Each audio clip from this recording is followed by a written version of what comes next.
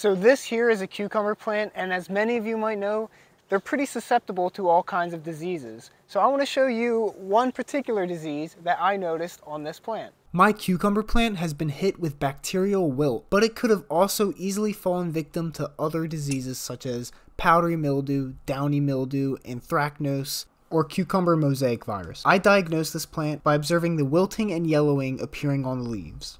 I initially thought that it was powdery mildew affecting my plant, so I tried making a homemade fungicide to fight the disease. I sprayed this in this area. It did not help my cucumber. Even if I did not misdiagnose the disease, there is still no chemical treatment available for bacterial wilt, so prevention and early detection are critical to minimize the impact of this disease. Planting it next to my pumpkin did not help either. This led the main cause of the wilt, the cucumber beetle, to flourish.